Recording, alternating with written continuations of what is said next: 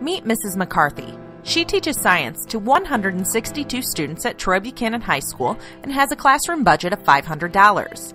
If you divided Mrs. McCarthy's budget evenly among her students, she would have $3.08 per student.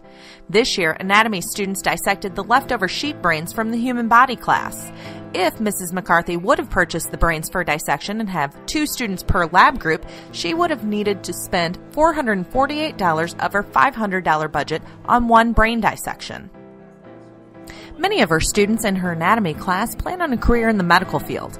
According to Mrs. McCarthy, to best prepare these students, her class needs to be dissecting all major organs and at least one mammal. Restoring budgets to support instruction is just one of the reinstatements under Proposition 1.